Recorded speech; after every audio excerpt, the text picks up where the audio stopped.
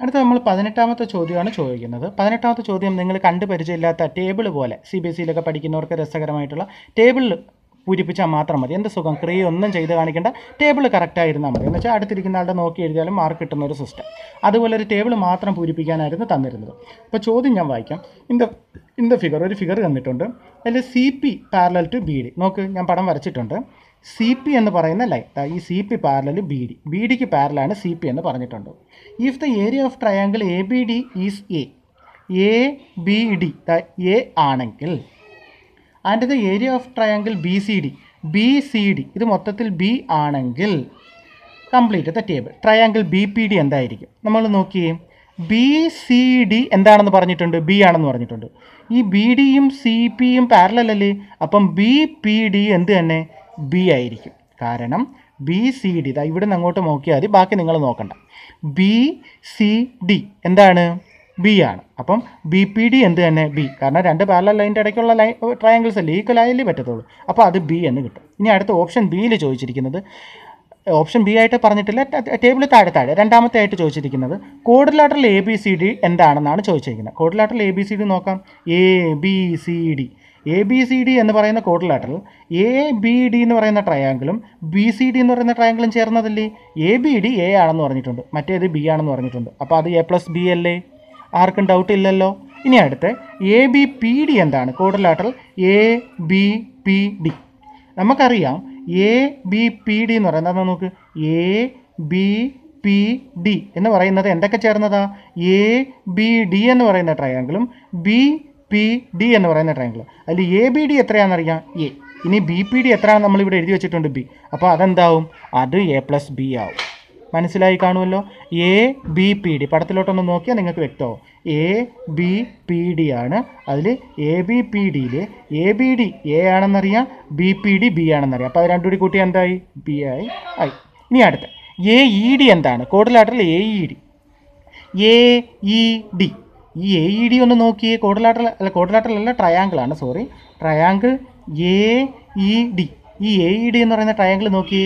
A B D എന്ന് പറയുന്ന ട്രയാങ്കിളും B E D എന്ന് പറയുന്ന ട്രയാങ്കിളും കൂട്ടുന്നില്ലേ അതിൽ എ ബി ഡി എത്രയാണ്?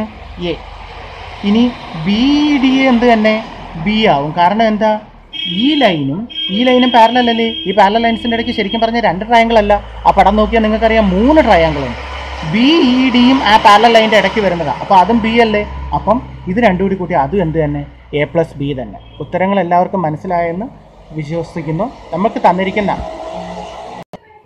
ആൻസർ കീയിൽ ചെറിയ തെറ്റുണ്ടായിരുന്നു. അതിൽ ഓപ്ഷൻ എ ഇവിടെ എ എന്നാണ് ഇട്ടിരുന്നത്. അത് എ അല്ല ഉത്തരം ബി ആണ്. പല കുട്ടികളും എന്റെ അടുത്ത് ചോദിച്ച് തിരുത്തി മാർക്ക് ഇട്ടിട്ടുണ്ട്. അതിന്റെ ഉത്തരം ബി ആണ് വരുന്നത്. ബി പി ഡി ബി ആണ്. ബാക്കി മൂന്ന് എ പ്ലസ് ബി നമ്മുടെ ആൻസർ കീയിൽ ഇട്ടേക്കുന്ന ഉത്തരം ശരിയാണ്.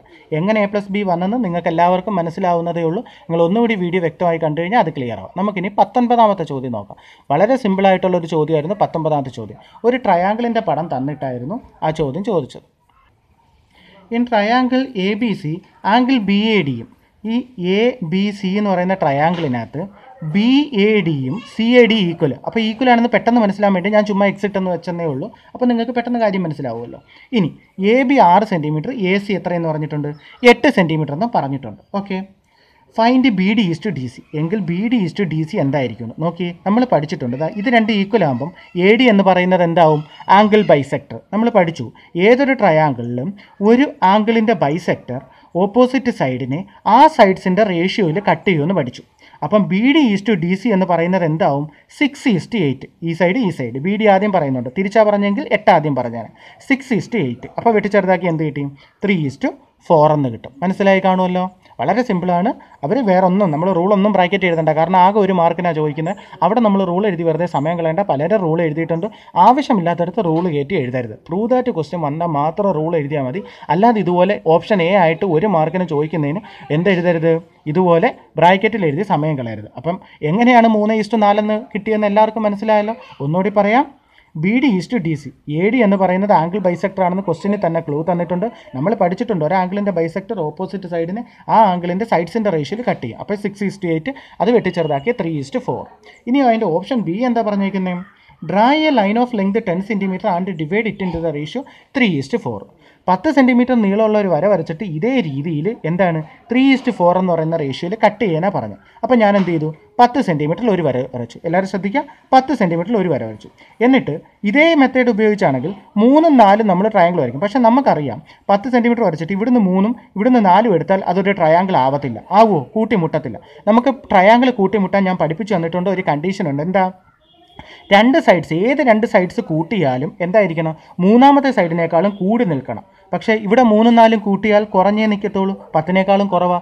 കൂടി നിൽക്കണം. അപ്പം നമുക്ക് എന്തെടുക്കാം? ഇതേ ടെക്നിക്ക് മൂന്നിന്റെ നാലിന്റെ ഇരട്ടി എത്ര? ആറും എട്ടും എടുക്കാം. ആറും എട്ടും കൂട്ടിയാലോ? പത്തിനേക്കാളും കൂടി ആറ് വട്ടം പതിനാലാണ്. പതിനാല് എന്ന് പറയുന്നത് പത്തിനേക്കാൾ കൂടുതൽ. അപ്പോൾ ഒരു ട്രയാങ്കിൾ അറിയാത്തവർക്ക് വേണ്ടി ഒന്നുകൂടി പറയാണ് ഏതൊരു ട്രയാങ്കിൾ ഉണ്ടാവണമെങ്കിലും രണ്ട് സൈഡ്സ് പറക്കിയിട്ട് കൂട്ടിയാൽ മൂന്നാമത്തെ സൈഡിനേക്കാളും കൂടി നിൽക്കണം. മൂന്നാമത്തെ സൈഡിനേക്കാളും കൂടി നിൽക്കണം. അപ്പോൾ ആറും എട്ടുമാണ് കൂട്ടുന്നത്. മൂന്നും നാലും കൂട്ടാൻ പറ്റത്തില്ല. അപ്പോൾ ഞാൻ എന്ത് ചെയ്തു? പത്ത് സെന്റിമീറ്റർ എടുത്തിട്ട് ആറിൽ ഇവിടെ കുത്തിക്കൊണ്ട് ആറിൽ ഇവിടെ കുത്തിക്കൊണ്ട് എട്ടിൽ ഒരു വര വരച്ചു. വരച്ചല്ലോ. അപ്പോൾ എന്തായി കഴിഞ്ഞു? നമുക്കൊരു ട്രയാങ്കിൾ കിട്ടിക്കഴിഞ്ഞു. ഇനി നമുക്ക് ആ റേഷ്യോ കിട്ടണ്ടേ? അപ്പം ആ ആംഗിളിന്റെ ബൈസെക്ടർ ഈ പത്തിനെതിരെയുള്ള ആംഗിളിന്റെ ബൈസെക്ടർ വരയ്ക്കണം. ഞാൻ ഒന്ന് വരച്ച് കാണിക്കാം എല്ലാവരും ശ്രദ്ധിക്കുക.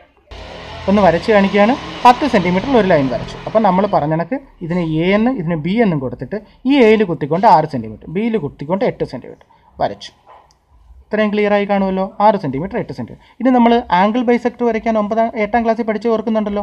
ഈ പത്തിനെതിരെയുള്ള ആംഗിൾ ബൈസെക്ടറാണ് നമ്മൾ വരയ്ക്കേണ്ടത്. അപ്പോൾ ഇവിടെ കുത്തിക്കൊണ്ട് കോമ്പസിൽ കുത്തി ഇതുപോലെ ചെറിയൊരു ആർക്ക് എടുത്തു. ഇനി അടുത്ത സ്റ്റെപ്പ് എന്താ? ഇവിടെ കുത്തിക്കൊണ്ട് വീണ്ടും ഇങ്ങോട്ടൊരാർക്ക് ഇവിടെ കുത്തി ഇങ്ങോട്ടൊരാർക്ക് ഇനി ഈ രണ്ട് പോയിന്റും കൂടി സ്കെയിലിൽ വെച്ച് നേരെ ഒരു വര വരച്ചു. ഇതിന് ഞാൻ സി എന്ന് പേര് കൊടുത്തു. ഇത് ഡി എന്ന് പേര് കൊടുത്തു. അപ്പോൾ എന്താ? A D is to B D ഉറപ്പായിട്ടും എന്തായിരിക്കും? Six is to eight six is to eight എന്ന് വെച്ചാൽ എന്താ അർത്ഥം? ത്രീ ഈസ്റ്റ് ഫോർ എല്ലാവർക്കും വ്യക്തമായല്ലോ? ആംഗിൾ ബൈസെക്ടർ വരയ്ക്കാൻ എന്താ ഒന്നുകൂടി കാണിച്ചു തരികയാണ് നമുക്ക് ഈ കോണിന്റെ ആംഗിൾ ബൈസെക്ടർ വരയ്ക്കാം. എല്ലാവരും പഠിച്ചതെന്നറിയാം കോമ്പസിന്റെ മോനെ ഇവിടെ കുത്തിക്കൊണ്ട് പെൻസിലിന്റെ ചെറിയൊരു ആർക്ക് എന്നിട്ട് ഇവിടെ കുത്തിക്കൊണ്ട് വീണ്ടും ഒരു ആർക്ക് ഇവിടെ കുത്തിക്കൊണ്ട് വീണ്ടും ഒരു ആർക്ക് ഇതങ്ങ് ചേർത്ത് വരച്ചു. ഇത് അപ്പോൾ എന്തായി? ഈ വരച്ച വരയാണ് എന്ത്? ആംഗിൾ ബൈസെക്ടർ വ്യക്തമായി കാണുമെന്ന് വിചാരിക്കുന്നു. മനസ്സിലാകാത്തത് ഓക്കെ നമുക്ക് അടുത്ത ചോദ്യം നോക്കാം. ഇനി നമുക്ക് ഇരുപത്തിരണ്ടാമത്തെ ചോദ്യമാണ്. അവർ റെഗുലർ പെന്റഗൺ എന്നൊന്നും പറഞ്ഞിട്ടില്ല. ഒരു പെന്റഗൺ വരച്ച് അഞ്ച് മാർക്ക് സുഖമായിട്ട് കിട്ടും. ഒരു പെന്റഗൺ വരച്ചിട്ട് എന്ത് ചെയ്യുക? അതിന് ഈക്വൽ ഏരിയയുള്ള ട്രയാങ്കിൾ വരയ്ക്കാം നിങ്ങൾക്ക് എല്ലാവർക്കും അറിയാം. നമുക്ക് ഇഷ്ടമുള്ള അളവിൽ ചുമ്മാ സ്കെയിൽ എടുത്ത് വെച്ച് ഒരു പെന്റഗൺ വരച്ചു. എന്നിട്ട് എന്ത് ചെയ്തു? ഇവിടെ നിന്ന് ഇങ്ങോട്ടും ഇവിടെ നിന്ന് ഇങ്ങോട്ടും. എല്ലാവരും ശ്രദ്ധിക്കുക. ഈ A B C D E എന്ന് പറയുന്ന പെന്റഗൺ വരച്ചിട്ട് ഡിയിൽ കുത്തിക്കൊണ്ട് ഇതാ ഇങ്ങോട്ട് ആദ്യത്തെ ഡയഗണൽ വരച്ചു. ഡിയിൽ നിന്ന് ബിയിലോട്ട് അടുത്ത ഡയഗണൽ വരച്ചു. ഇനി അടുത്ത സ്റ്റെപ്പ് എന്താ? ഈ ഡയഗണൽ ഈ ഡി എ എന്ന് പറയുന്ന ഡയഗണൽ പാരലായിട്ട് ഒരു ലൈൻ ഇതിലൂടെ വരച്ചു. ഈ വെർട്ടക്സിലൂടെ വരച്ചു. ഇ എന്ന് പറയുന്ന വെർട്ടക്സിൽ അതിൽ ഇതിന് പാരലായിട്ട് സി എന്ന് പറയുന്ന വെർട്ടക്സിലൂടെ വരച്ചു. ഇനി എന്ത് ചെയ്തു? ഡിയിൽ നിന്ന് ഈ അറ്റത്ത് ഇതങ്ങോട്ട് യോജി നീട്ടി വരച്ച വരയിലോട്ട് കൂട്ടി വരച്ചു കിട്ടി. ഒന്നുകൂടി കാണിച്ചു തരാം. ഞാൻ ഇപ്പം പറഞ്ഞാൽ നിങ്ങൾക്ക് വ്യക്തമാകത്തോണ്ട് ഒന്നുകൂടി വരച്ച് കാണിക്കാൻ ശ്രദ്ധിക്കുക ഞാനൊരു സിമ്പിളായിട്ട് ഒരു പെന്റകൺ അങ്ങോട്ട് വരച്ചു. ഒരു റെഗുലർ പെന്റകൺ എന്നൊന്നും പറഞ്ഞിട്ടില്ലായിരുന്നു. പലരും റെഗുലർ പെന്റഗണൊക്കെ വരച്ച് സമയം കളഞ്ഞു. ഇങ്ങോട്ടൊരെണ്ണം വരച്ചു ഇങ്ങോട്ടൊരെണ്ണം വരച്ചു. ക്ലിയർ അല്ലേ? ഇനി ഇതിന് പാരലായിട്ട് ഇങ്ങോട്ടൊരെണ്ണം വരച്ചു. ഇതിന് പാരലായിട്ട് ഇങ്ങോട്ടൊരെണ്ണം വരച്ചു. ഇനി ഇത് ഇങ്ങോട്ട് നീട്ടി. ഇത് ഇങ്ങോട്ട് നീട്ടി. ഇനി അടുത്ത സ്റ്റെപ്പ് എന്താ? ഇവിടെ നിന്ന് ഇങ്ങോട്ട് വരച്ചു. ഇവിടെ നിന്ന് ഇങ്ങോട്ട് വരച്ചു. പേരൊക്കെ കൊടുക്കണേ. ഞാൻ മേളിൽ വരച്ചിട്ടേക്കുന്നുകൊണ്ടാണ് വീണ്ടും പെട്ടെന്ന് വരച്ച് കഴിയുന്നത് എല്ലാവരും ശരിയാക്കിയ ഉത്തരവാണ്. ക്ലിയർ അല്ലേ? എല്ലാവർക്കും മനസ്സിലായി കാണുമല്ലോ? അപ്പോൾ റെഗുലർ പെന്റഗണിന്റെ ക്വസ്റ്റ്യൻ പരീക്ഷയ്ക്ക് ചോദിച്ചെന്ന് എല്ലാവർക്കും വ്യക്തമല്ല അഞ്ച് മാർക്കിനാണ് ചോദിച്ചത്. റെഗുലർ പെന്റഗൺ അല്ല പെന്റഗണിന്റെ ക്വസ്റ്റ്യൻ ചോദിച്ചെന്ന് എല്ലാവർക്കും വ്യക്തമായല്ലോ. ഇനി നമുക്ക് അവസാനത്തെ ചോദ്യം ഇരുപത്തിമൂന്നാമത്തെ ചോദ്യം നോക്കാം.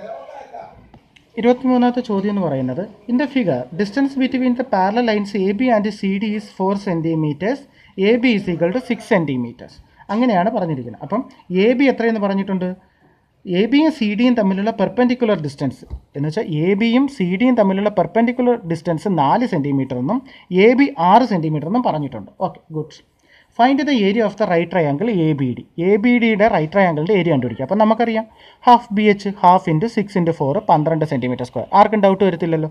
ഇനി perimeter of right triangle A B D പറഞ്ഞിട്ടുണ്ട്. അതിൽ എ ബി ആറാണെന്നും ബി ഡി നാലാണെന്നും അറിയാം. ഇതെന്ന് പറയുന്നത് ഹൈപ്പോഡിന്യൂസ് അല്ലേ എ ഡി അപ്പം A B plus B D plus A D A D എത്രയാണെന്ന് നമുക്ക് സൈഡിൽ കണ്ടുപിടിച്ചുകൂടി പൈതകോറസ് തീറം അനുസരിച്ച് according to Pythagoras theorem hypotenuse is equal to root of എന്താണ്? Base square plus altitude square അല്ലെങ്കിൽ A square plus B square. ഇവിടെ ആറ് A square plus നാല് സ്ക്വയർ. മുപ്പത്താറ് പ്ലസ് പതിനാറ് റൂട്ട് അമ്പത്തിരണ്ട്. റൂട്ട് അമ്പത്തിരണ്ട് എങ്ങനെ കിട്ടിയെന്ന്? ഈ പടങ്ങൾ കാണുമ്പോൾ ഈ എഴുതി വെച്ചേക്കുന്ന കാണുമ്പോൾ തന്നെ നിങ്ങൾക്ക് മനസ്സിലാവും. അപ്പോൾ റൂട്ട് അമ്പത്തിരണ്ട്. ഓക്കെ. ഈ റൂട്ട് അമ്പത്തിരണ്ട് റൂട്ട് വരുന്ന സംഖ്യ നമുക്ക് ഇതിന്റെ കൂടെ കൂട്ടാൻ പറ്റുമോ? പറ്റത്തില്ല. അപ്പം നാല് അധികം ആറ് അധികം റൂട്ട് അമ്പത്തിരണ്ട്.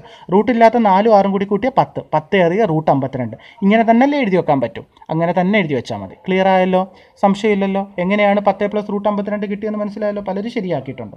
ഇനി option C. Among the two triangles A B D and